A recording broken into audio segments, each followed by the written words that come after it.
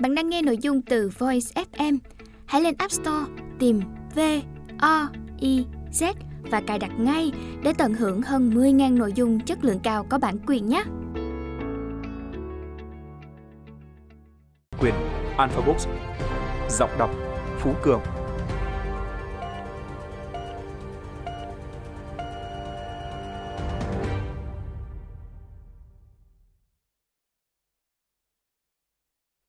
Lời giới thiệu Đại dịch COVID-19 kéo dài từ tháng 1 2019 đến nay đã gây ra những tác động nặng nề cho nền kinh tế toàn cầu nói chung và các doanh nghiệp Việt Nam nói riêng.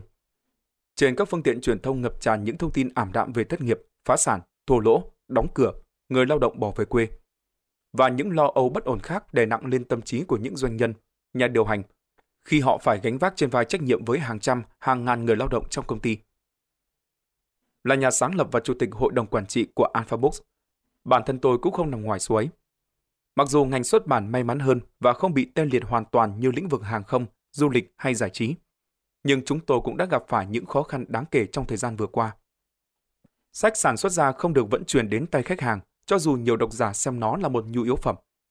Chúng tôi cũng phải đối mặt với tình trạng nhân sự biến động, các nhà phân phối đóng cửa, chi phí marketing bị cắt giảm đến mức tối đa.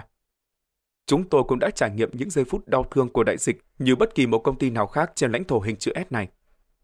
Đối mặt với biến cố, Alpha Books đã tự mở ra một con đường mới để cứu sống chính bản thân mình. Chúng tôi chuyển sang cung cấp nhiều sản phẩm số hơn cho cộng đồng, nghiên cứu phát triển các khóa học mới, đồng thời đẩy mạnh dịch vụ tư vấn xuất bản sách cho các doanh nhân và tổ chức muốn quảng bá thương hiệu và tiếp cận nhiều khách hàng tiềm năng hơn. Phát động tinh thần học tập trong đội ngũ nhân viên. Tôi cảm tưởng như chúng ta đang ở trên một chiếc máy bay liên tục phải điều chỉnh mục tiêu, đổi phi công, đổi tiếp viên, rồi bình nhiên liệu cạn. Và nhất là những thứ đó đang diễn ra trong trời rông bão. Nhưng nói về COVID-19 không hẳn chỉ là những gam màu xám xịt, mà trong nguy luôn có cơ. Cái khó ló cái khôn. COVID-19 đã giúp cho cộng đồng doanh nhân trở nên gắn kết hơn để cùng nhau xoay chuyển tình hình. Bản thân tôi cũng đã có cơ hội thảo luận và học hỏi, hợp tác với lãnh đạo các doanh nghiệp khác trong đại dịch. Chúng tôi tổ chức các buổi nói chuyện online hàng tuần để chia sẻ về bài học vượt qua khủng hoảng của các thương hiệu gia tộc dẫn đầu nền kinh tế toàn cầu. Bí quyết đổi hướng kinh doanh thành công của các doanh nghiệp tại Việt Nam và trên thế giới. Ý tưởng mới lạ, độc đáo mang lại doanh thu lớn. Binh pháp trong kinh doanh, không gian giao lưu và chia sẻ giữa doanh nghiệp, giải đáp thỏa đáng các thắc mắc về chiến lược phát triển của doanh nghiệp, đồng thời mở ra những cơ hội hợp tác kinh doanh giữa các đại diện doanh nghiệp có mặt trong buổi trao đổi.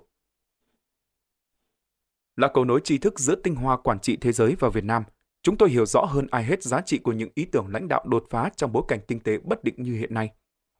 Với việc xuất bản bộ ấn phẩm Sức bật sau khủng hoảng, gồm 6 chủ đề khác nhau của Harvard Business Review, Alpha Books hy vọng sẽ giảm bớt áp lực chuyển đổi doanh nghiệp cho các nhà lãnh đạo thông qua tư duy sáng tạo và kinh nghiệm đặc sắc từ các chuyên gia gạo cội trên thế giới. Các doanh nhân sẽ học được cách tạo ra một tổ chức bền bỉ và có khả năng phục hồi nhanh hơn các đối thủ cạnh tranh. Bản thân tôi cũng đã tìm ra những chiến lược mới cho sự phát triển của Alpha Books khi được truyền cảm hứng từ bộ sách. Và cuối cùng, tôi muốn nói một điểm quan trọng. Đó là COVID-19 cũng chỉ là một loại cúm. Nhân loại đã từng chiến thắng những kẻ thù hùng mạnh hơn nhiều vì đơn giản, sức mạnh của chúng ta đến từ sự đoàn kết, cảm thông, chia sẻ, sáng tạo, trách nhiệm và kiên cường. Khi nghĩ về những vất vả, những thăng trầm và cả bi kịch của doanh nhân Việt trong nhiều thế kỷ qua, tôi nhận thấy những gì doanh nhân đang gặp phải hôm nay chưa là gì cả so với những khó khăn mà các thế hệ doanh nhân Việt Nam đi trước đã gánh chịu và vượt qua để tồn tại. Chúng ta sẽ cùng nhau nỗ lực vượt qua những thử thách này. Hãy có một cái nhìn tích cực và lạc quan về tương lai phía trước.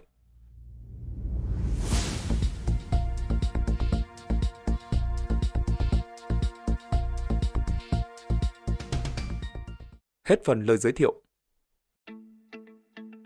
Bạn đang nghe nội dung từ Voice FM. Hãy lên App Store tìm V, O, I, Z và cài đặt ngay để tận hưởng hơn 10.000 nội dung chất lượng cao có bản quyền nhé.